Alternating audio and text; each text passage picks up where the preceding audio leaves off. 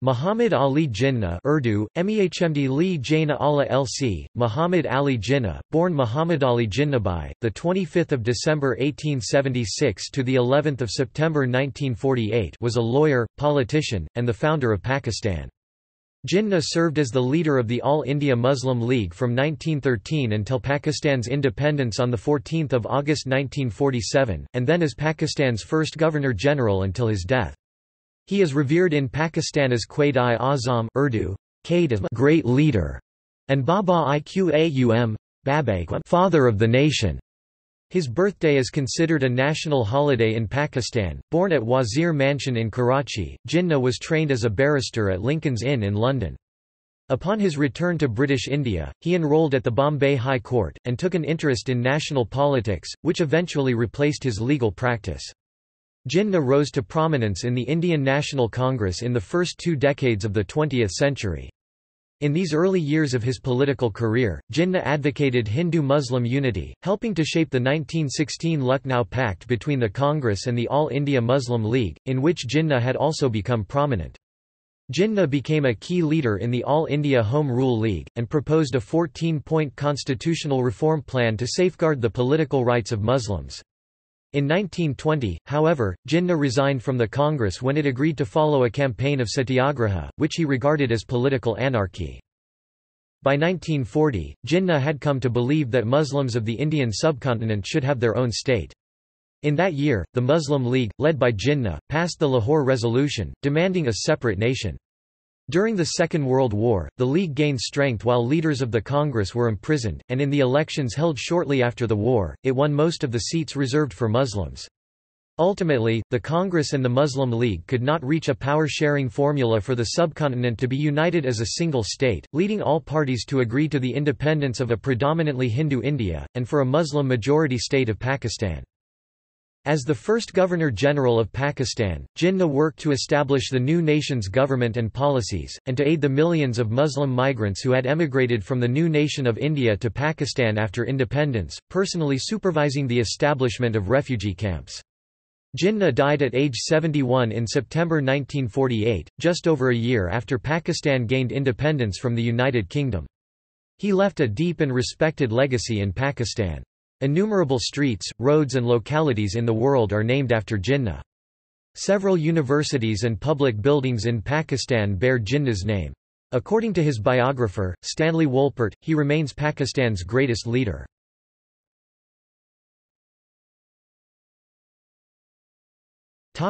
Early years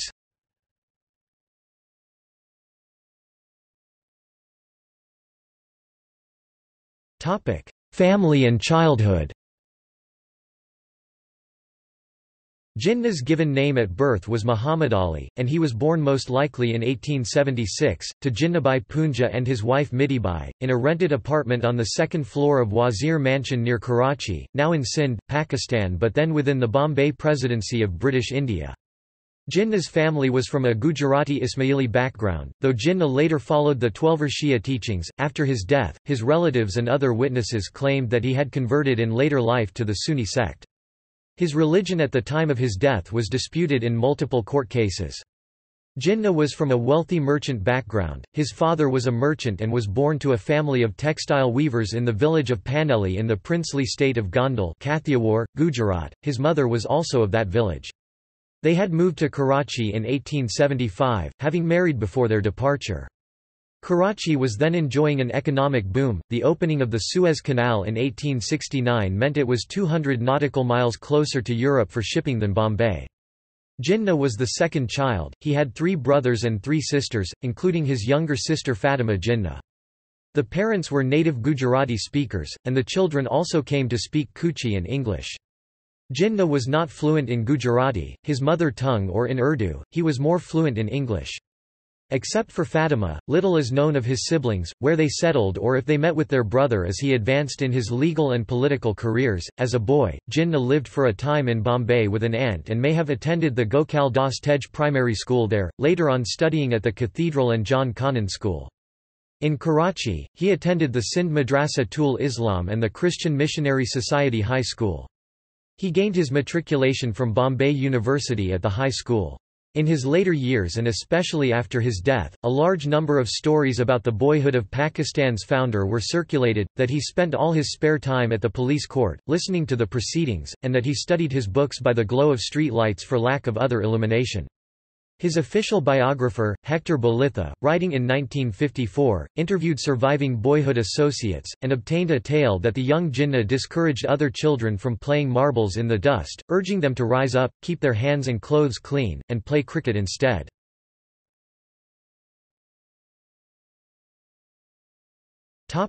Education in England In 1892, Sir Frederick Leigh Croft, a business associate of Jinnah Punja, offered young Jinnah a London apprenticeship with his firm, Graham's Shipping and Trading Company. He accepted the position despite the opposition of his mother, who before he left, had him enter an arranged marriage with his cousin, two years his junior from the ancestral village of Paneli, Emibai Jinnah. Jinnah's mother and first wife both died during his absence in England.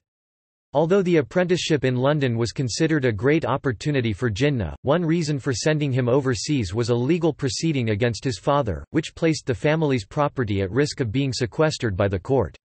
In 1893, the Jinnahbhai family moved to Bombay. Soon after his arrival in London, Jinnah gave up the business apprenticeship in order to study law, enraging his father, who had, before his departure, given him enough money to live for three years. The aspiring barrister joined Lincoln's Inn, later stating that the reason he chose Lincoln's over the other inns of court was that over the main entrance to Lincoln's Inn were the names of the world's great lawgivers, including Muhammad. Jinnah's biographer Stanley Wolpert notes that there is no such inscription, but inside is a mural showing Muhammad and other lawgivers, and speculates that Jinnah may have edited the story in his own mind to avoid mentioning a pictorial depiction which would be offensive to many Muslims. Jinnah's legal education followed the pupillage legal apprenticeship system, which had been in force there for centuries. To gain knowledge of the law, he followed an established barrister and learned from what he did, as well as from studying lawbooks. During this period, he shortened his name to Muhammad Ali Jinnah. During his student years in England, Jinnah was influenced by 19th century British liberalism, like many other future Indian independence leaders. This political education included exposure to the idea of the democratic nation, and progressive politics. He became an admirer of the Parsi British Indian political leaders Dadabhai Naoroji and Sir Pherozeshah Mehta. Naoroji had become the first British Member of Parliament of Indian extraction shortly before Jinnah's arrival, triumphing with a majority of three votes in Finsbury Central. Jinnah listened to Naoroji's maiden speech in the House of Commons from the Visitors' Gallery. The Western world not only inspired Jinnah in his political life, but also greatly influenced his personal preferences, particularly when it came to dress. Jinnah abandoned local garb for Western-style clothing, and throughout his life he was always impeccably dressed in public. He came to own over 200 suits, which he wore with heavily starched shirts with detachable collars, and as a barrister took pride in never wearing the same silk tie twice. Even when he was dying, he insisted on being formally dressed. I will not travel in my pajamas. In his later years he was usually seen wearing a karakul hat which subsequently came to be known as the Jinnah cap. Dissatisfied with the law, Jinnah briefly embarked on a stage career with a Shakespearean company, but resigned after receiving a stern letter from his father. In 1895, at age 19, he became the youngest Indian to be called to the bar in England. Although he returned to Karachi, he remained there only a short time before moving to Bombay.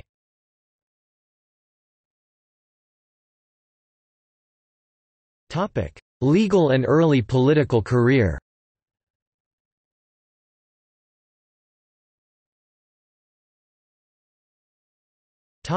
Barrister At the age of 20, Jinnah began his practice in Bombay, the only Muslim barrister in the city. English had become his principal language and would remain so throughout his life. His first three years in the law, from 1897 to 1900, brought him few briefs. His first step towards a brighter career occurred when the acting Advocate General of Bombay, John Molesworth McPherson, invited Jinnah to work from his chambers. In 1900, P. H. Dastoor, a Bombay presidency magistrate, left the post temporarily and Jinnah succeeded in getting the interim position. After his six-month appointment period, Jinnah was offered a permanent position on a 1,500 rupee per month salary. Jinnah politely declined the offer, stating that he planned to earn 1,500 rupees a day—a huge sum at that time—which he eventually did. Nevertheless, as Governor-General of Pakistan, he would refuse to accept a large salary, fixing it at 1 rupee per month. As a lawyer, Jinnah gained fame for his skilled handling of the 1907 caucus case. This controversy arose out of Bombay municipal elections, which Indians alleged were rigged by a caucus of Europeans to keep Sir Pherozeshah Mehta out of the council. Jinnah gained great esteem from leading the case for Sir Pherozeshah, himself a noted barrister. Although Jinnah did not win the caucus case, he posted a successful record, becoming well known for his advocacy and legal logic. In 1908, his factional foe in the Indian National Congress, Bal Gangadhar Tilak, was arrested for sedition. Before Tilak unsuccessfully represented himself at trial, he engaged Jinnah in an attempt to secure his release on bail. Jinnah did not succeed, but obtained an acquittal for Tilak when he was charged with sedition again in 1916. One of Jinnah's fellow barristers from the Bombay High Court remembered that, Jinnah's faith in himself was incredible. He recalled that on being admonished by a judge with, Mr. Jinnah, remember that you are not addressing a third-class magistrate. Jinnah shot back, My lord, allow me to warn you that you are not addressing a third-class pleader. Another of his fellow barristers described him, saying, He was what God made him, a great pleader. He had a sixth sense, he could see around corners. That is where his talents lay. He was a very clear thinker. But he drove his points home points chosen with exquisite selection slow delivery, word by word.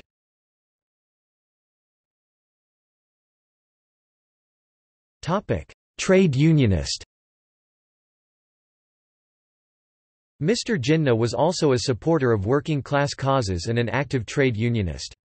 He was elected president of All India Postal Staff Union in 1925 whose membership was 70,000.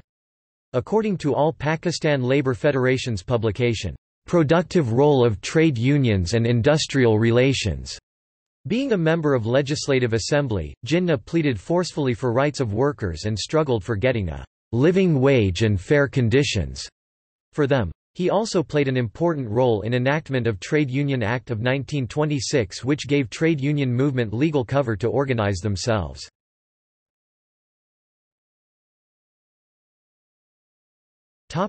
Rising leader In 1857, many Indians had risen in revolt against British rule. In the aftermath of the conflict, some Anglo-Indians, as well as Indians in Britain, called for greater self-government for the subcontinent, resulting in the founding of the Indian National Congress in 1885. Most founding members had been educated in Britain, and were content with the minimal reform efforts being made by the government. Muslims were not enthusiastic about calls for democratic institutions in British India, as they constituted a quarter to a third of the population, outnumbered by the Hindus. Early meetings of the Congress contained a minority of Muslims, mostly from the elite. Jinnah devoted much of his time to his law practice in the early 1900s, but remained politically involved. Jinnah began political life by attending the Congress's 20th annual meeting, in Bombay in December 1904. He was a member of the moderate group in the Congress, favoring Hindu-Muslim unity in achieving self-government, and following such leaders as Mehta, Naoroji, and Gopal Krishna Gokhale. They were opposed by leaders such as Tilak and Lala Lajpat Rai, who sought quick action towards independence. In 1906, a delegation of Muslim leaders headed by the Aga Khan called on the new Viceroy of India, Lord Minto, to assure him of their loyalty and to ask for assurances that in any political reforms they would be protected from the unsympathetic Hindu majority. Dissatisfied with this, Jinnah wrote a letter to the editor of the newspaper Gujarati, asking what right the members of the delegation had to speak for Indian Muslims, as they were unelected and self-appointed. When many of the same leaders met in Dhaka in December of that year to form the All India Muslim League to advocate for their community's interests, Jinnah was again opposed. The Aga Khan later wrote that it was freakishly ironic that Jinnah, who would lead the League to Independence, came out in bitter hostility toward all that I and my friends had done. He said that our principle of separate electorates was dividing the nation against itself. In its earliest years, however, the League was not influential, Minto refused to consider it as the Muslim community's representative, and it was ineffective in preventing the 1911 repeal of the Partition of Bengal, an action seen as a blow to Muslim interests. Although Jinnah initially opposed separate electorates for Muslims, he used this means to gain his first elective office in 1909, as Bombay's Muslim representative on the Imperial Legislative Council. He was a compromise candidate when two older, better-known Muslims who were seeking the post deadlocked. The council, which had been expanded to 60 members as part of reforms enacted by Minto, recommended legislation to the viceroy. Only officials could vote in the council, non-official members, such as Jinnah, had no vote. Throughout his legal career, Jinnah practiced probate law with many clients from India's nobility, and in 1911 introduced the WAKF Validation Act to place Muslim religious trusts on a sound legal footing under British Indian law. Two years later, the measure passed, the first act sponsored by non-officials to pass the council and be enacted by the viceroy. Jinnah was also appointed to a committee which helped to establish the Indian Military Academy in Dehradun. In December 1912, Jinnah addressed the annual meeting of the Muslim League although he was not yet a member. He joined the following year, although he remained a member of the Congress as well and stressed that League membership took second priority to the greater national cause of an independent India. In April 1913, he again went to Britain, with Gokhale, to meet with officials on behalf of the Congress. Gokhale, a Hindu, later stated that Jinnah has true stuff in him, and that freedom from all sectarian prejudice which will make him the best ambassador of Hindu-Muslim unity." Jinnah led another delegation of the Congress to London in 1914, but due to the start of the First World War found officials little interested in Indian reforms. By coincidence, he was in Britain at the same time as a man who would become a great political rival of his, Mohandas Gandhi, a Hindu lawyer who had become well known for advocating satyagraha, non-violent non-cooperation, while in South Africa. Jinnah attended a reception for Gandhi, and returned home to India in January 1915.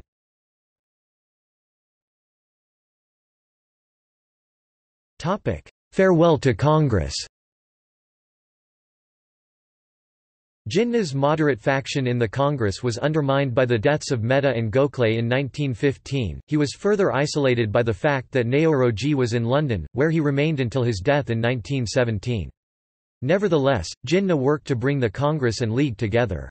In 1916, with Jinnah now president of the Muslim League, the two organizations signed the Lucknow Pact, setting quotas for Muslim and Hindu representation in the various provinces. Although the pact was never fully implemented, its signing ushered in a period of cooperation between the Congress and the League. During the war, Jinnah joined other Indian moderates in supporting the British war effort, hoping that Indians would be rewarded with political freedoms. Jinnah played an important role in the founding of the All India Home Rule League in 1916. Along with political leaders Annie Besant and Tilak, Jinnah demanded home rule for India, the status of a self-governing dominion in the empire similar to Canada, New Zealand and Australia, although, with the war, Britain's politicians were not interested in considering Indian constitutional reform. British cabinet minister Edwin Montagu recalled Jinnah in his memoirs, "...young, perfectly mannered, impressive-looking, armed to the teeth with dialectics, and insistent on the whole of his scheme."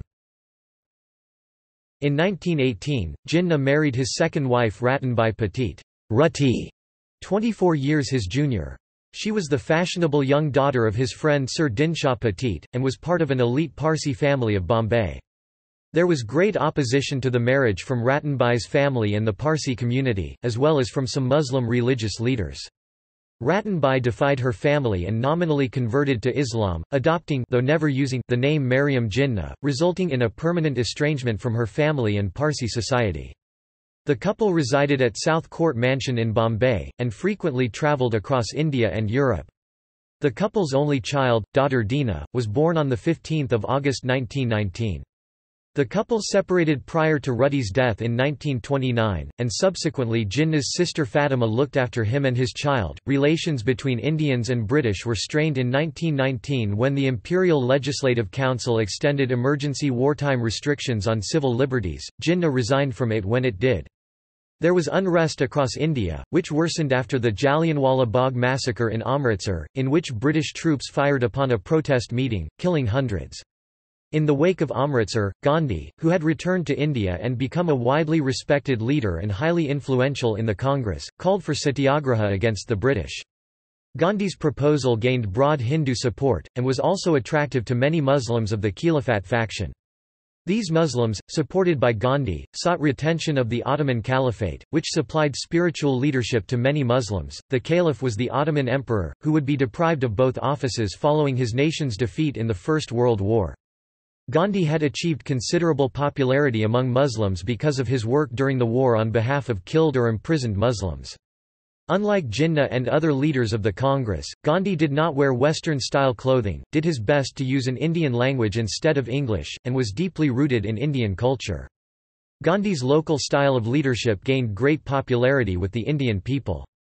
Jinnah criticized Gandhi's Khilafat advocacy, which he saw as an endorsement of religious zealotry.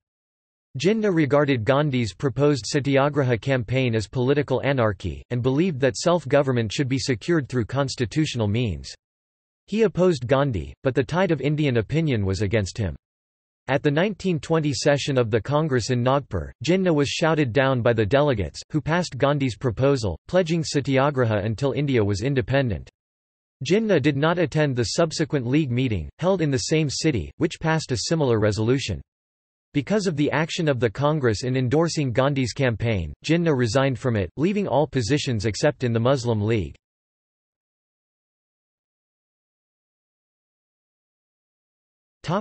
Wilderness years, interlude in England The alliance between Gandhi and the Khilafat faction did not last long, and the campaign of resistance proved less effective than hoped, as India's institutions continued to function. Jinnah sought alternative political ideas, and contemplated organizing a new political party as a rival to the Congress. In September 1923, Jinnah was elected as Muslim member for Bombay in the new Central Legislative Assembly. He showed much skill as a parliamentarian, organizing many Indian members to work with the Swaraj Party, and continued to press demands for full responsible government. In 1925, as recognition for his legislative activities, he was offered a knighthood by Lord Reading, who was retiring from the viceroyalty. He replied, I prefer to be plain Mr. Jinnah. In 1927, the British government, under Conservative Prime Minister Stanley Baldwin, undertook a decennial review of Indian policy mandated by the Government of India Act 1919. The review began two years early as Baldwin feared he would lose the next election which he did, in 1929. The cabinet was influenced by Minister Winston Churchill, who strongly opposed self-government for India, and members hoped that by having the commission appointed early, the policies for India which they favoured would survive their government. The resulting commission, led by Liberal MP John Simon, though with a majority of Conservatives, arrived in India in March 1928. They were met with a boycott by India's leaders, Muslim and Hindu alike, angered at the British refusal to include their representatives on the commission. A minority of Muslims, though, withdrew from the League, choosing to welcome the Simon Commission and repudiating Jinnah. Most members of the League's Executive Council remained loyal to Jinnah, attending the League meeting in December 1927 and January 1928 which confirmed him as the League's permanent president. At that session, Jinnah told the delegates that, "...a constitutional war has been declared on Great Britain. Negotiations for a settlement are not to come from our side." By appointing an exclusively white commission, Secretary of State for India Lord Birkenhead has declared our unfitness for self-government. Birkenhead in 1928 challenged Indians to come up with their own proposal for constitutional change for India. In response, the Congress convened a committee under the leadership of Motilal Nehru. 1. The Nehru Report favoured constituencies based on geography on the ground that being dependent on each other for election would bind the communities closer together. Jinnah, though he believed separate electorates, based on religion, necessary to ensure Muslims had a voice in the government, was willing to compromise on this point, but talks between the two parties failed. He put forth proposals that he hoped might satisfy a broad range of Muslims and reunite the League, calling for mandatory representation for Muslims in legislatures and cabinets. These became known as his 14 points. He could not secure adoption of the 14 points, as the League meeting in Delhi at which he hoped to gain a vote instead dissolved into chaotic argument. After Baldwin was defeated at the 1929 British parliamentary election, Ramsay MacDonald of the Labour Party became Prime Minister. MacDonald desired a conference of Indian and British leaders in London to discuss India's future, a course of action supported by Jinnah. Three round-table conferences followed over as many years, none of which resulted in a settlement. Jinnah was a delegate to the first two conferences, but was not invited to the last. He remained in Britain for most of the period 1930 through 1934, practicing as a barrister before the Privy Council, where he dealt with a number of India-related cases. His biographers disagree over why he remained so long in Britain. Wolpert asserts that had Jinnah been made a law lord, he would have stayed for life, and that Jinnah alternatively sought a parliamentary seat. Early biographer Hector Bolitho denied that Jinnah sought to enter the British Parliament, while Jaswant Singh deems Jinnah's time in Britain as a break or sabbatical from the Indian struggle. Bolitho called this period, Jinnah's years of order and contemplation, wedged in between the time of early struggle, and the final storm of conquest. In 1931, Fatima Jinnah joined her brother in England. From then on, Muhammad Jinnah would receive personal care and support from her as he aged and began to suffer from the lung ailments which would kill him. She lived and travelled with him, and became a close advisor. Muhammad Jinnah's daughter, Dina, was educated in England and India. Jinnah later became estranged from Dina after she decided to marry a Christian, Neville Wadia from a prominent Parsi business family. When Jinnah urged Dina to marry a Muslim, she reminded him that he had married a woman not raised in his faith. Jinnah continued to correspond cordially with his daughter, but their personal relationship was strained, and she did not come to Pakistan in his lifetime, but only for his funeral.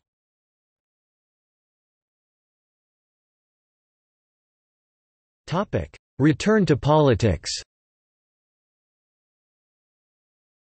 The early 1930s saw a resurgence in Indian Muslim nationalism, which came to a head with the Pakistan Declaration. In 1933, Indian Muslims, especially from the United Provinces, began to urge Jinnah to return and take up again his leadership of the Muslim League, an organization which had fallen into inactivity.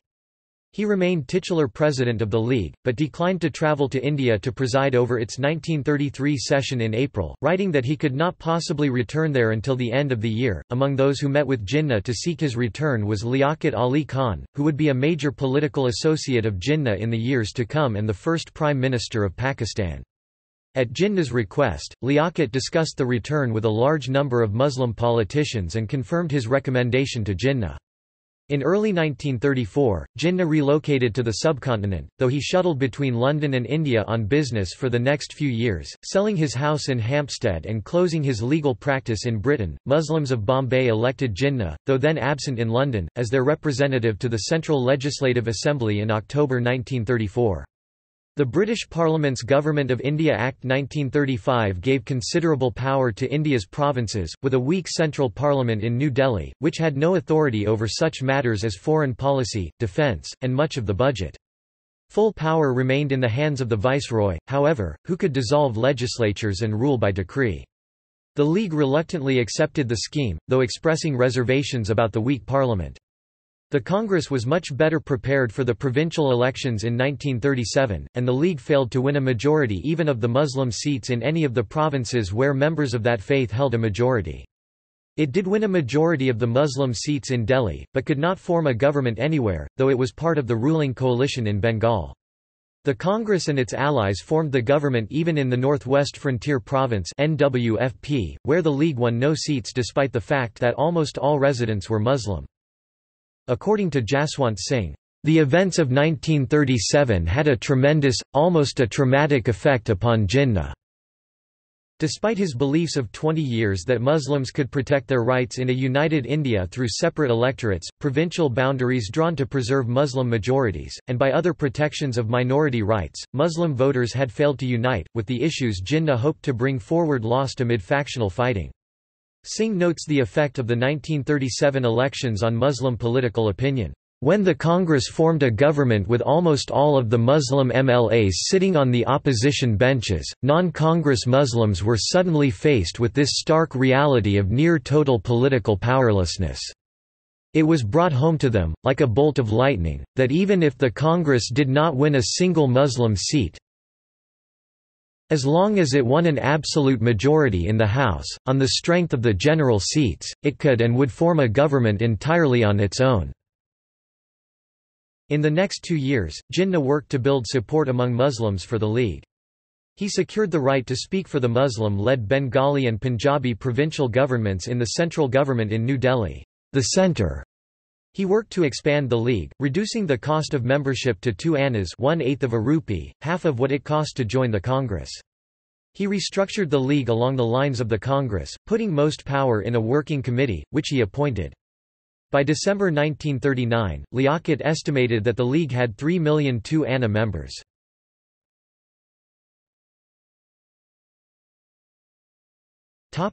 Struggle for Pakistan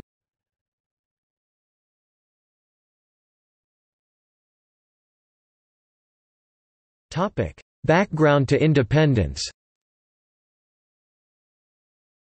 Until the late 1930s, most Muslims of the British Raj expected, upon independence, to be part of a unitary state encompassing all of British India, as did the Hindus and others who advocated self-government.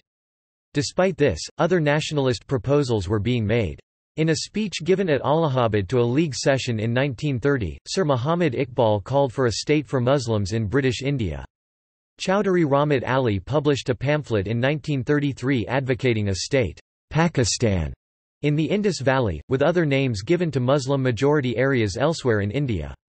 Jinnah and Iqbal corresponded in 1936 and 1937. In subsequent years, Jinnah credited Iqbal as his mentor, and used Iqbal's imagery and rhetoric in his speeches. Although many leaders of the Congress sought a strong central government for an Indian state, some Muslim politicians, including Jinnah, were unwilling to accept this without powerful protections for their community. Other Muslims supported the Congress, which officially advocated a secular state upon independence, though the traditionalist wing including politicians such as Madan Mohan Malviya and Vallabhbhai Patel believed that an independent India should enact laws such as banning the killing of cows and making Hindi a national language. The failure of the Congress leadership to disavow Hindu communalists worried Congress supporting Muslims. Nevertheless, the Congress enjoyed considerable Muslim support up to about 1937. Events which separated the communities included the failed attempt to form a coalition government including the Congress and the League in the United Provinces following the 1937 election. According to historian Ian Talbot, the provincial Congress governments made no effort to understand and respect their Muslim population's cultural and religious sensibilities. The Muslim League's claims that it alone could safeguard Muslim interests thus received a major boost. Significantly it was only after this period of Congress rule that it the League took up the demand for a Pakistan state. Balraj Puri in his journal article about Jinnah suggests that the Muslim League president, after the 1937 vote, turned to the idea of partition in sheer desperation.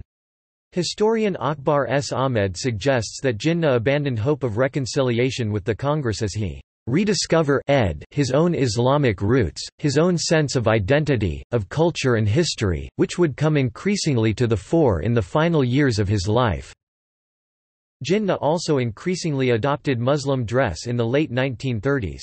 In the wake of the 1937 balloting, Jinnah demanded that the question of power sharing be settled on an all-India basis, and that he, as president of the League, be accepted as the sole spokesman for the Muslim community.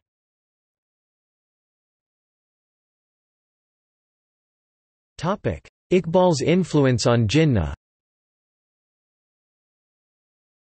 The well-documented influence of Iqbal on Jinnah, with regard to taking the lead in creating Pakistan, has been described as significant, powerful, and even unquestionable by scholars. Iqbal has also been cited as an influential force in convincing Jinnah to end his self-imposed exile in London and re-enter the politics of India.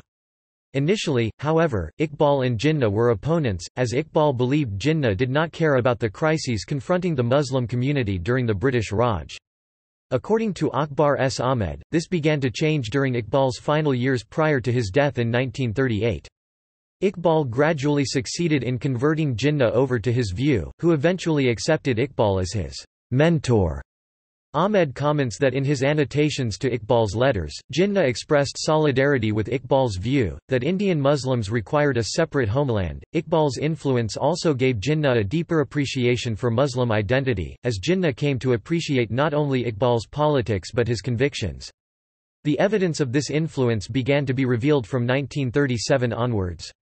Jinnah not only began to echo Iqbal in his speeches, he started using Islamic symbolism and began directing his addresses to the underprivileged. Ahmed noted a change in Jinnah's words, while he still advocated freedom of religion and protection of the minorities, the model he was now aspiring to was that of the Prophet Muhammad, rather than that of a secular politician. Ahmed further avers that those scholars who have painted the later Jinnah as secular have misread his speeches which, he argues, must be read in the context of Islamic history and culture. Accordingly, Jinnah's imagery of the Pakistan began to become clear that it was to have an Islamic nature. This change has been seen to last for the rest of Jinnah's life.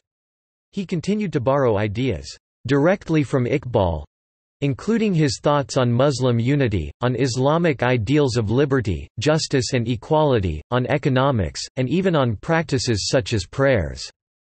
In a speech in 1940, two years after the death of Iqbal, Jinnah expressed his preference for implementing Iqbal's vision for an Islamic Pakistan even if it meant he himself would never lead a nation. Jinnah stated, if I live to see the ideal of a Muslim state being achieved in India, and I was then offered to make a choice between the works of Iqbal and the rulership of the Muslim state, I would prefer the former.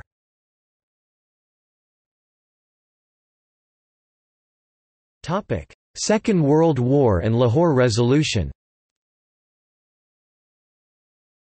On 3 September 1939, British Prime Minister Neville Chamberlain announced the commencement of war with Nazi Germany. The following day, the Viceroy, Lord Linlithgow, without consulting Indian political leaders, announced that India had entered the war along with Britain. There were widespread protests in India. After meeting with Jinnah and with Gandhi, Linlithgow announced that negotiations on self-government were suspended for the duration of the war. The Congress on 14 September demanded immediate independence with a constituent assembly to decide a constitution. When this was refused, its eight provincial governments resigned on 10 November and governors in those provinces thereafter ruled by decree for the remainder of the war. Jinnah, on the other hand, was more willing to accommodate the British, and they in turn increasingly recognised him and the League as the representatives of India's Muslims. Jinnah later stated, "...after the war began, I was treated on the same basis as Mr. Gandhi. I was wonderstruck why I was promoted and given a place side by side with Mr. Gandhi. Although the League did not actively support the British war effort, neither did they try to obstruct it.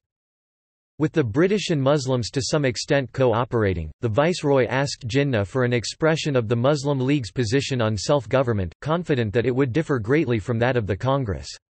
To come up with such a position, the League's Working Committee met for four days in February 1940 to set out terms of reference to a constitutional subcommittee. The Working Committee asked that the subcommittee return with a proposal that would result in independent dominions in direct relationship with Great Britain, where Muslims were dominant. On 6 February, Jinnah informed the Viceroy that the Muslim League would be demanding partition instead of the federation contemplated in the 1935 Act. The Lahore Resolution sometimes called the Pakistan Resolution although it does not contain that name, based on the subcommittee's work, embraced the two-nation theory and called for a union of the Muslim-majority provinces in the northwest of British India, with complete autonomy. Similar rights were to be granted to the Muslim-majority areas in the east, and unspecified protections given to Muslim minorities in other provinces.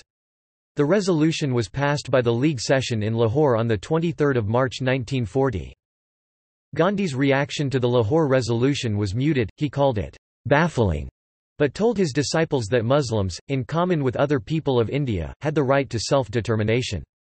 Leaders of the Congress were more vocal. Jawaharlal Nehru referred to Lahore as Jinnah's fantastic proposals, while Chakravarti Rajagopalachari deemed Jinnah's views on partition a sign of a diseased mentality. Linlithgow met with Jinnah in June 1940, soon after Winston Churchill became the British Prime Minister, and in August offered both the Congress and the League a deal whereby in exchange for full support for the war, Linlithgow would allow Indian representation on his major war councils. The Viceroy promised a representative body after the war to determine India's future, and that no future settlement would be imposed over the objections of a large part of the population. This was satisfactory to neither the Congress nor the League, though Jinnah was pleased that the British had moved towards recognizing Jinnah as the representative of the Muslim community's interests. Jinnah was reluctant to make specific proposals as to the boundaries of Pakistan, or its relationships with Britain and with the rest of the subcontinent, fearing that any precise plan would divide the League. The Japanese attack on Pearl Harbor in December 1941 brought the United States into the war. In the following months, the Japanese advanced in Southeast Asia, and the British cabinet sent a mission led by Sir Stafford Cripps to try to conciliate the Indians and cause them to fully back the war. Cripps proposed giving some provinces what was dubbed the local option to remain outside of an Indian central government either for a period of time or permanently, to become dominions on their own or be part of another confederation. The Muslim League was far from certain of winning the legislative votes that would be required for mixed provinces such as Bengal and Punjab to secede, and Jinnah rejected the proposals as not sufficiently recognizing Pakistan's right to exist. The Congress also rejected the Cripps Plan, demanding immediate concessions which Cripps was not prepared to give. Despite the rejection, Jinnah and the League saw the Cripps proposal as recognizing Pakistan in principle. The Congress followed the failed Cripps mission by demanding, in August 1942, that the British immediately quit India, proclaiming a mass campaign of satyagraha until they did. The British promptly arrested most major leaders of the Congress and imprisoned them for the remainder of the war. Gandhi, however, was placed on house arrest in one of the Aga Khan's palaces prior to his release for health reasons in 1944. With the Congress leaders absent from the political scene, Jinnah warned against the threat of Hindu domination and maintained his Pakistan demand without going into great detail about what that would entail. Jinnah also worked to increase the League's political control at the provincial level.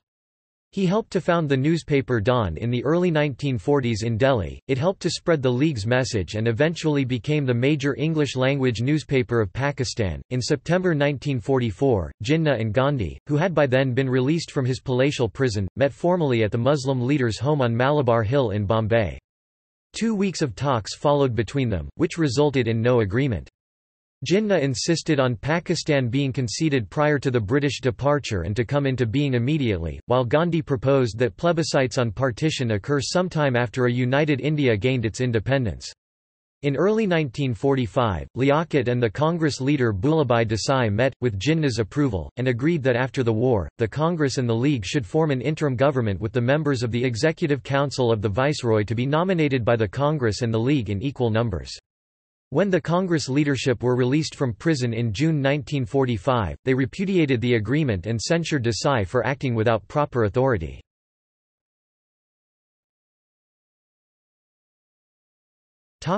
Post-war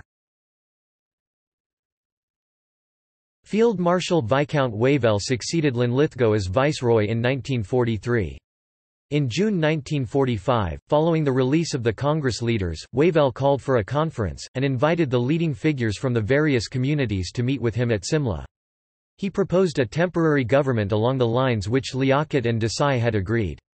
However, Wavell was unwilling to guarantee that only the League's candidates would be placed in the seats reserved for Muslims. All other invited groups submitted lists of candidates to the viceroy. Wavell cut the conference short in mid-July without further seeking an agreement. With a British general election imminent, Churchill's government did not feel it could proceed. The British people returned Clement Attlee and his Labour Party later in July. Attlee and his Secretary of State for India, Lord Frederick Pethick Lawrence, immediately ordered a review of the Indian situation. Jinnah had no comment on the change of government, but called a meeting of his working committee and issued a statement calling for new elections in India.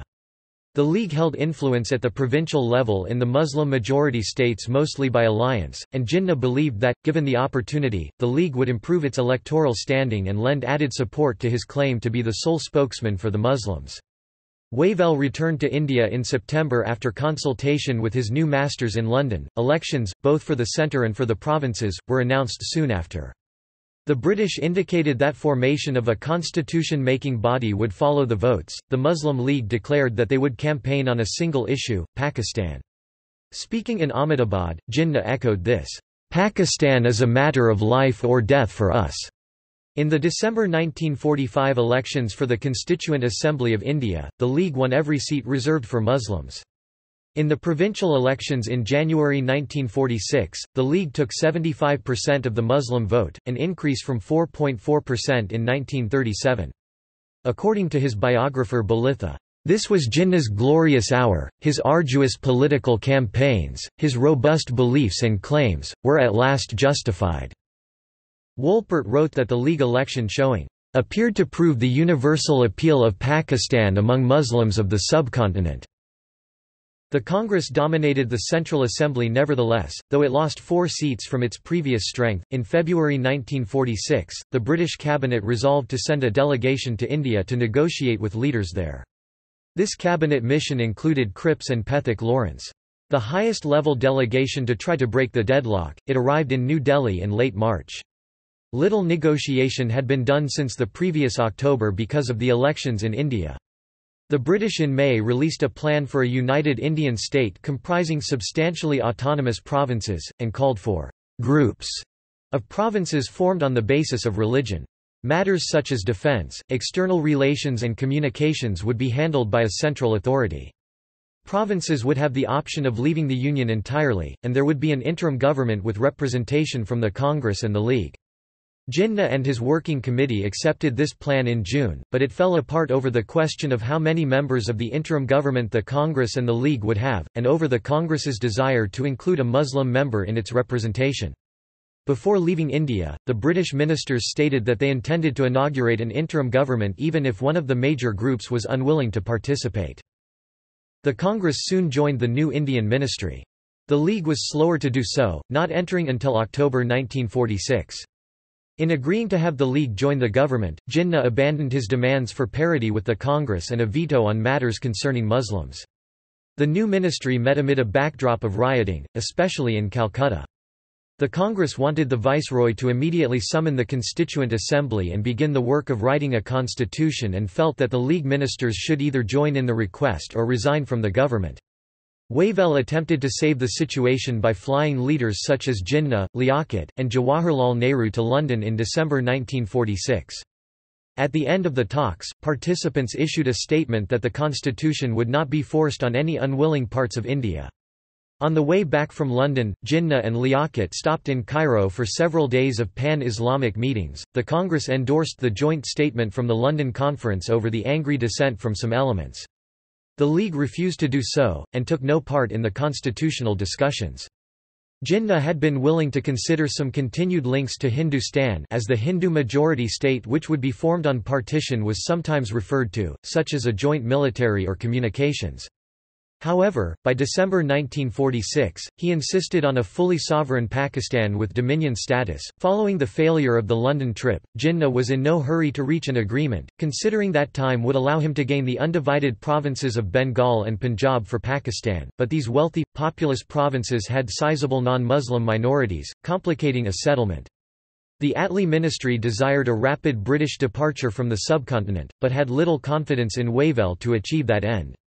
Beginning in December 1946, British officials began looking for a viceregal successor to Wavell, and soon fixed on Admiral Lord Mountbatten of Burma, a war leader popular among conservatives as the great-grandson of Queen Victoria and among Labour for his political views.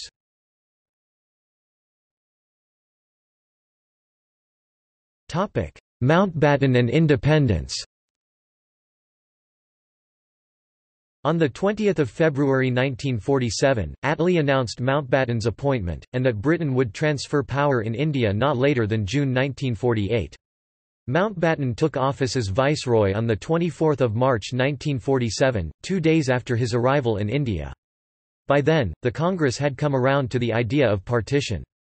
Nehru stated in 1960, "...the truth is that we were tired men and we were getting on in years." The plan for partition offered a way out and we took it. Leaders of the Congress decided that having loosely tied Muslim-majority provinces as part of a future India was not worth the loss of the powerful government at the centre which they desired. However, the Congress insisted that if Pakistan were to become independent, Bengal and Punjab would have to be divided.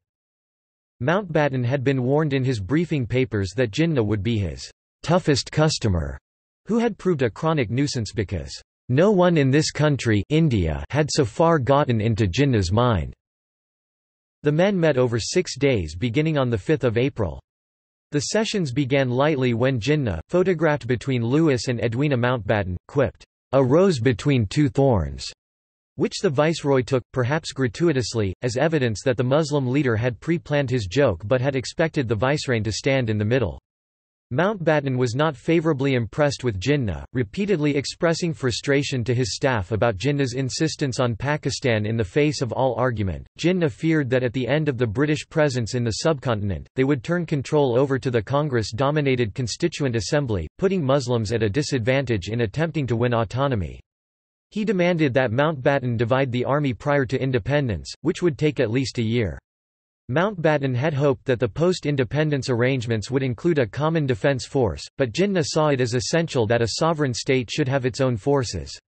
Mountbatten met with Liaquat the day of his final session with Jinnah, and concluded, as he told Attlee and the cabinet in May, that it had become clear that the Muslim League would resort to arms if Pakistan in some form were not conceded. The viceroy was also influenced by negative Muslim reaction to the constitutional report of the Assembly, which envisioned broad powers for the post-independence central government. On the 2nd of June, the final plan was given by the viceroy to Indian leaders. On the 15th of August, the British would turn over power to two dominions. The provinces would vote on whether to continue in the existing constituent assembly or to have a new one, that is, to join Pakistan. Bengal and Punjab would also vote, both on the question of which assembly to join, and on the partition. A boundary commission would determine the final lines in the partitioned provinces. Plebiscites would take place in the northwest frontier province which did not have a league government despite an overwhelmingly Muslim population, and in the majority Muslim Sylhet district of Assam, adjacent to eastern Bengal. On 3 June, Mountbatten, Nehru, Jinnah and Sikh leader Baldev Singh made the formal announcement by radio. Jinnah concluded his address with, Pakistan Zindabad, Long Live Pakistan, which was not in the script. In the weeks which followed Punjab and Bengal cast the votes which resulted in partition. Sylhet and the NWFP voted to cast their lots with Pakistan, a decision joined by the assemblies in Sindh and Baluchistan. On 4 July 1947, Liaquat asked Mountbatten on Jinnah's behalf to recommend to the British King, George VI, that Jinnah be appointed Pakistan's first Governor-General. This request angered Mountbatten, who had hoped to have that position in both dominions. He would be India's first post-independence Governor-General, but Jinnah felt that Mountbatten would be likely to favour the new Hindu-majority state because of his closeness to Nehru. In addition, the Governor-General would initially be a powerful figure, and Jinnah did not trust anyone else to take that office. Although the Boundary Commission, led by British lawyer Sir Cyril Radcliffe, had not yet reported, there were already massive movements of populations between the nations to be, as well as sectarian violence. Jinnah arranged to sell his house in Bombay and procured a new one in Karachi. On 7 August, Jinnah, with his sister and close staff, flew from Delhi to Karachi in Mountbatten's plane, and as the plane taxied, he was heard to murmur, "'That's the end of that!' On the 11th of August, he presided over the new Constituent Assembly for Pakistan at Karachi, and addressed them, "'You are free, you are free to go to your temples, you are free to go to your mosques or to any other place of worship in this state of Pakistan. You may belong to any religion or caste or creed, that has nothing to do with the business of the state. I think we should keep that in front of us as our ideal and you will find that in course of time Hindus would cease to be Hindus and Muslims would cease to be Muslims, not in the religious sense, because that is the personal faith of each individual, but in the political sense as citizens of the state." On 14 August, Pakistan became independent, Jinnah led the celebrations in Karachi. One observer wrote, Here indeed is Pakistan's King Emperor, Archbishop of Canterbury, Speaker and Prime Minister concentrated into one formidable Quaid-e-Azam.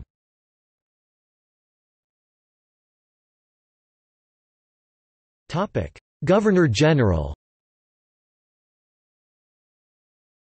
The Radcliffe Commission, dividing Bengal and Punjab, completed its work and reported to Mountbatten on 12 August. The last viceroy held the maps until the 17th, not wanting to spoil the independence celebrations in both nations. There had already been ethnically charged violence and movement of populations. Publication of the Radcliffe Line dividing the new nations sparked mass migration, murder, and ethnic cleansing. Many on the wrong side of the lines fled or were murdered, or murdered others, hoping to make facts on the ground which would reverse the Commission's verdict. Radcliffe wrote in his report that he knew that neither side would be happy with his award, he declined his fee for the work. Christopher Beaumont, Radcliffe's private secretary, later wrote that Mountbatten must take the blame, though not the sole blame, for the massacres in the Punjab in which between 500,000 to a million men, women and children perished. As many as 14,500,000 people relocated between India and Pakistan during and after partition. Jinnah did what he could for the 8 million people who migrated to Pakistan, although by now over 70 and frail from lung ailments, he travelled across West Pakistan and personally supervised the provision of aid. According to Ahmed, what Pakistan needed desperately in those early months was a symbol of the state, one that would unify people and give them the courage and resolve to succeed. Among the restive regions of the new nation was the northwest frontier province. The referendum there in July 1947 had been tainted by low turnout as less than 10% of the population were allowed to vote. On the 22nd of August 1947, just after a week of becoming Governor-General, Jinnah dissolved the elected government of Dr. Khan Abdul Jabbar Khan. Later on, Abdul Qayyum Khan was put in place by Jinnah in the Pashtun-dominated province despite him being a Kashmiri. On 12 August 1948 the Babra massacre in Charsadda occurred resulting in the death of 400 people aligned with the Khudai Khidmatgar movement, along with Liaquat and Abdur Rab Nishtar. Jinnah represented Pakistan's interests in the Division Council to appropriately divide public assets between India and Pakistan. Pakistan was supposed to receive one-sixth of the pre-independence government's assets, carefully divided by agreement, even specifying how many sheets of paper each side would receive. The new Indian state, however, was slow to deliver, hoping for the collapse of the nascent Pakistani government, and reunion. Few members of the Indian Civil Service and the Indian Police Service had chosen Pakistan, resulting in staff shortages. Partition meant that for some farmers, the markets to sell their crops were on the other side of an international border. There were shortages of machinery, not all of which was made in Pakistan. In addition to the massive refugee problem, the new government sought to save abandoned crops, establish security in a chaotic situation, and provide basic services. According to economist Yasmin Niaz Mohiuddin in her study of Pakistan, Although Pakistan was born in bloodshed and turmoil, it survived in the initial and difficult months after partition only because of the tremendous sacrifices made by its people and the selfless efforts of its great leader. The Indian princely states were advised by the departing British to choose whether to join Pakistan or India. Most did so prior to independence, but the holdouts contributed to what have become lasting divisions between the two nations. Indian leaders were angered at Jinnah's attempts to convince the princes of Jodhpur, Udaipur, Bhopal and Indore to accede to Pakistan. The latter three princely states did not border Pakistan. Jodhpur bordered it and had both a Hindu majority population and a Hindu ruler. The coastal princely state of Junagadh, which had a majority Hindu population, did accede to Pakistan in September 1947, with its rulers Dewan, Sir Shah Nawaz Bhutto, personally delivering the accession papers to Jinnah. But the two states that were subject to the suzerainty of Junagadh—Mangrol and Babariawad—declared their independence from Junagadh and acceded to India. In response, the Nawab of Junagadh militarily occupied the two states.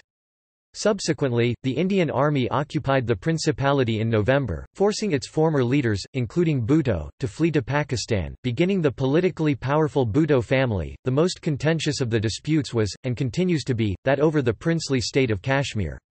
It had a Muslim-majority population and a Hindu Maharaja, Sir Hari Singh, who stalled his decision on which nation to join.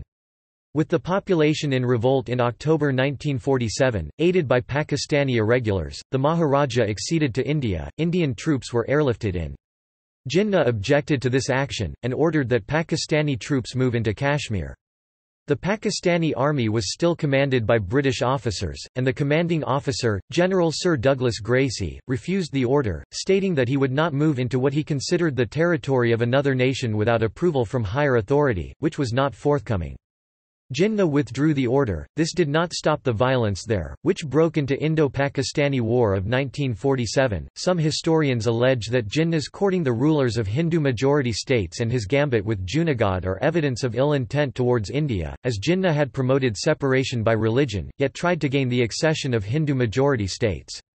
In his book Patel, A Life, Rajmohan Gandhi asserts that Jinnah hoped for a plebiscite in Junagadh, knowing Pakistan would lose, in the hope the principle would be established for Kashmir.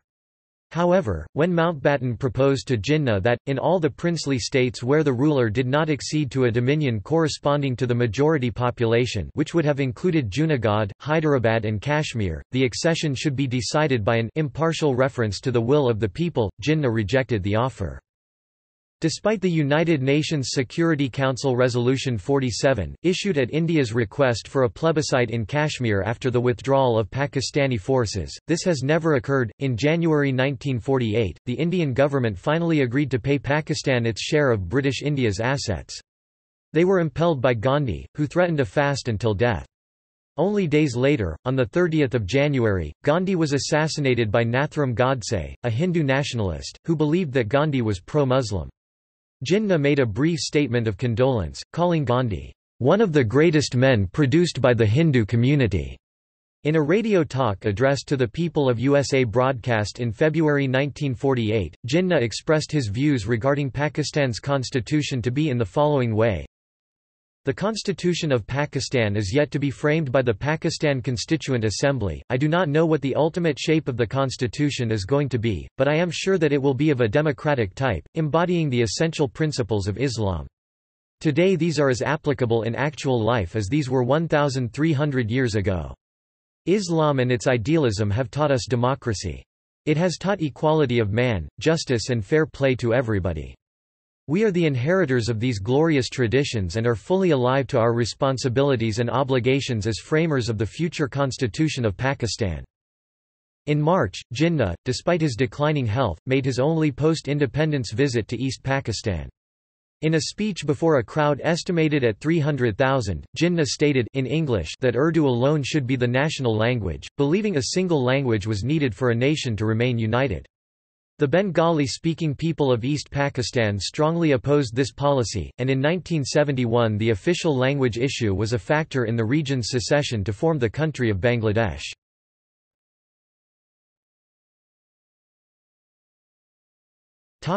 Illness and death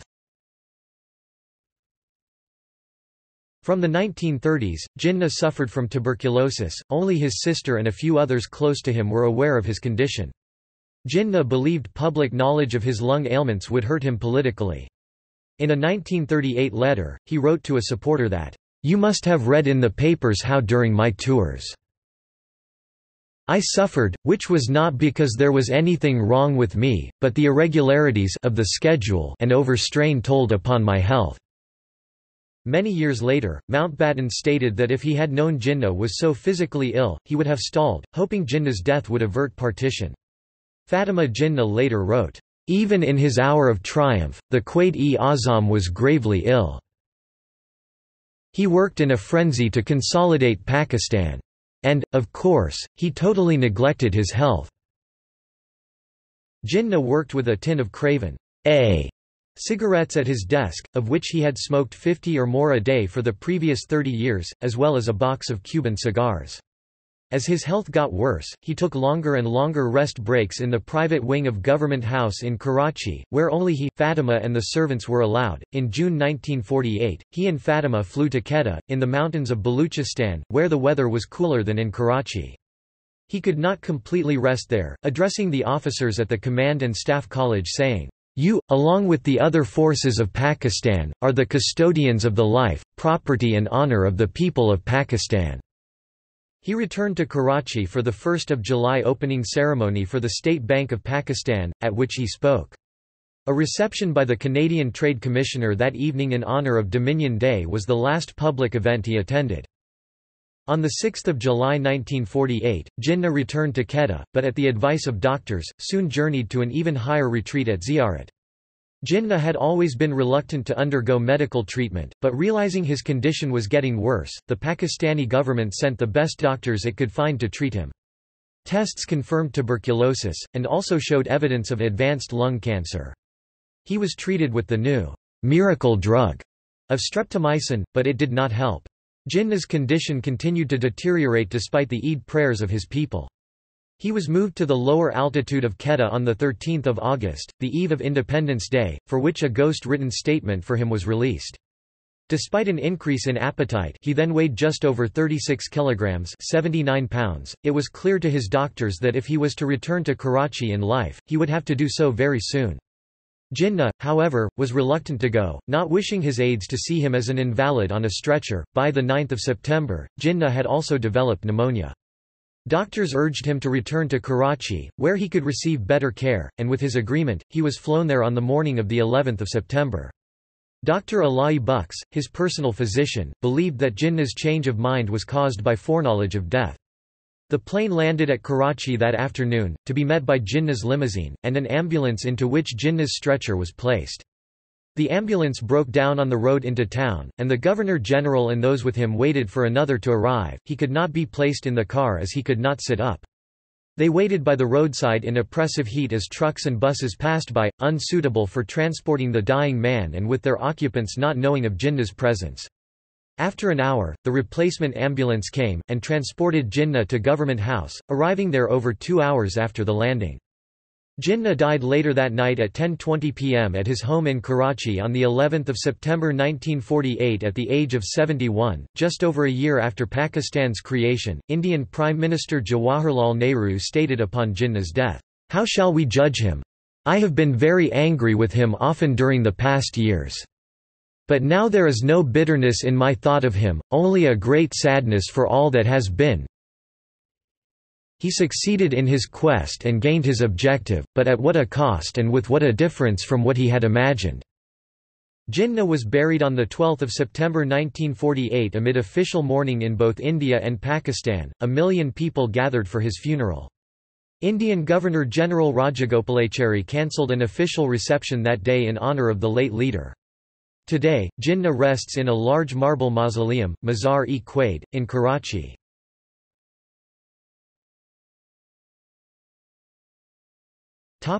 Aftermath Dina Wadia, Jinnah's daughter, remained in India after independence before ultimately settling in New York City. In the 1965 presidential election, Fatima Jinnah, by then known as Madar-e-Millat, Mother of the Nation, became the presidential candidate of a coalition of political parties that opposed the rule of President Ayub Khan, but was not successful. The Jinnah House in Malabar Hill, Bombay, is in the possession of the Government of India, but the issue of its ownership has been disputed by the Government of Pakistan. Jinnah had personally requested Prime Minister Nehru to preserve the house, hoping one day he could return to Bombay. There are proposals for the house to be offered to the government of Pakistan to establish a consulate in the city as a goodwill gesture, but Dina Wadia had also staked claim on the property. After Jinnah died, his sister Fatima asked the court to execute Jinnah's will under Shia Islamic law. This subsequently became part of the argument in Pakistan about Jinnah's religious affiliation. Vali Nasr says Jinnah was an Ismaili by birth and a Twelver Shia by confession, though not a religiously observant man. In a 1970 legal challenge, Hussein Ali Ganji Walji claimed Jinnah had converted to Sunni Islam. Witness Syed Sharifuddin Pirzada stated in court that Jinnah converted to Sunni Islam in 1901 when his sisters married Sunnis. In 1970, Liaquat Ali Khan and Fatima Jinnah's joint affidavit that Jinnah was Shia was rejected. But in 1976 the court rejected Walji's claim that Jinnah was Sunni, effectively accepting him as a Shia. In 1984 a High Court bench reversed the 1976 verdict and maintained that, "...the Quaid was definitely not a Shia", which suggested that Jinnah was Sunni. According to the journalist Khalid Ahmed, Jinnah publicly had a non-sectarian stance and was at pains to gather the Muslims of India under the banner of a general Muslim faith and not under a divisive sectarian identity." Liaquat H. Merchant, Jinnah's grandnephew, writes that, the Quaid was not a Shia, he was also not a Sunni, he was simply a Muslim. An eminent lawyer who practiced in the Bombay High Court until 1940 testified that Jinnah used to pray as an orthodox Sunni. According to Akbar Ahmed, Jinnah became a firm Sunni Muslim by the end of his life.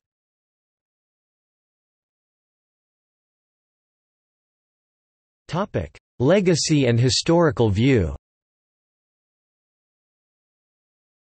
Jinnah's legacy is Pakistan. According to Mohiuddin, he was and continues to be as highly honored in Pakistan as first U.S. President George Washington is in the United States. Pakistan owes its very existence to his drive, tenacity, and judgment. Jinnah's importance in the creation of Pakistan was monumental and immeasurable. Stanley Wolpert, giving a speech in honor of Jinnah in 1998, deemed him Pakistan's greatest leader. According to Jaswant Singh, with Jinnah's death Pakistan lost its moorings. In India there will not easily arrive another Gandhi, nor in Pakistan another Jinnah. Malik writes, as long as Jinnah was alive, he could persuade and even pressure regional leaders toward greater mutual accommodation, but after his death, the lack of consensus on the distribution of political power and economic resources often turned controversial. According to Mohiuddin, Jinnah's death deprived Pakistan of a leader who could have enhanced stability and democratic governance. The rocky road to democracy in Pakistan and the relatively smooth one in India can in some measure be ascribed to Pakistan's tragedy of losing an incorruptible and highly revered leader so soon after independence. His birthday is observed as a national holiday, Quaid-e-Azam Day, in Pakistan. Jinnah earned the title Quaid-e-Azam meaning, great leader. His other title is Baba-i-Qaum father of the nation. The former title was reportedly given to Jinnah at first by Mian Ferozuddin Ahmed. It became an official title by effect of a resolution passed on the 11th of August 1947 by Liaquat Ali Khan in the Pakistan Constituent Assembly. There are some sources which endorse that Gandhi gave him that title. Within a few days of Pakistan's creation Jinnah's name was read in the khutbah at mosques as Amir ul Millat, a traditional title of Muslim rulers. The civil awards of Pakistan includes a Order of Quaid-i-Azam. The Jinnah Society also confers the Jinnah Award annually to a person that renders outstanding and meritorious services to Pakistan and its people. Jinnah is depicted on all Pakistani rupee currency, and is the namesake of many Pakistani public institutions.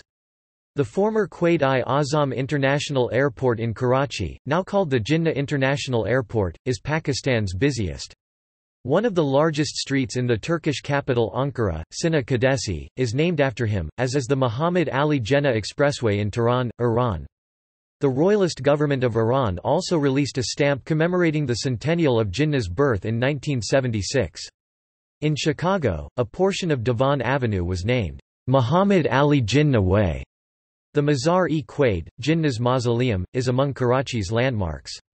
The Jinnah Tower in Guntur, Andhra Pradesh, India, was built to commemorate Jinnah. There is a considerable amount of scholarship on Jinnah which stems from Pakistan. According to Akbar S. Ahmed, it is not widely read outside the country and usually avoids even the slightest criticism of Jinnah.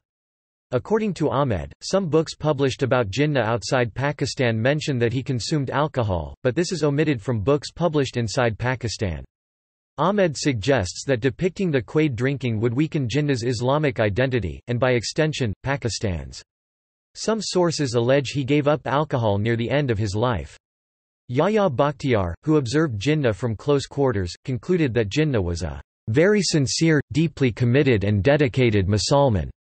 According to historian Ayesha Jalal, while there is a tendency towards hagiography in the Pakistani view of Jinnah, in India he is viewed negatively. Ahmed deems Jinnah, the most maligned person in recent Indian history. In India, many see him as the demon who divided the land. Even many Indian Muslims see Jinnah negatively, blaming him for their woes as a minority in that state. Some historians such as Jalal and H. M. Seervai assert that Jinnah never wanted the partition of India. It was the outcome of the Congress leaders being unwilling to share power with the Muslim League. They contend that Jinnah only used the Pakistan demand in an attempt to mobilize support to obtain significant political rights for Muslims. Jinnah has gained the admiration of Indian nationalist politicians such as Lal Krishna Advani, whose comments praising Jinnah caused an uproar in his Bharatiya Janata Party BJP. Indian politician Jaswant Singh's book Jinnah, India, Partition, Independence 2009 caused controversy in India. The book was based on Jinnah's ideology and alleged that Nehru's desire for a powerful centre led to partition. Upon the book release, Singh was expelled from his membership of Bharatiya Janata Party, to which he responded that BJP is narrow-minded and has limited thoughts. Jinnah was the central figure of the 1998 film Jinnah, which was based on Jinnah's life and his struggle for the creation of Pakistan. Christopher Lee, who portrayed Jinnah, called his performance the best of his career. The 1954 Hector Bolitho's book Jinnah, creator of Pakistan prompted Fatima Jinnah to release a book, titled My Brother 1987, as she thought that Bolitho's book had failed to express the political aspects of Jinnah. The book received positive reception in Pakistan. Jinnah of Pakistan 1984 by Stanley Wolpert is regarded as one of the best biographical books on Jinnah. The view of Jinnah in the West has been shaped to some extent by his portrayal in Sir Richard Attenborough's 1982 film, Gandhi. The film was dedicated to Nehru and Mountbatten and was given considerable support by Nehru's daughter, the Indian Prime Minister, Indira Gandhi. It portrays Jinnah played by Padamsee in an unflattering light, who seems to act out of jealousy of Gandhi. Padamsee later stated that his portrayal was not historically accurate. In a journal article on Pakistan's first Governor General, historian R. J. Moore wrote that Jinnah is universally recognized as central to the creation of Pakistan. Stanley Wolpert summarizes the profound effect that Jinnah had on the world. Few individuals significantly alter the course of history. Fewer still modify the map of the world. Hardly anyone can be credited with creating a nation-state. Muhammad Ali Jinnah did all three.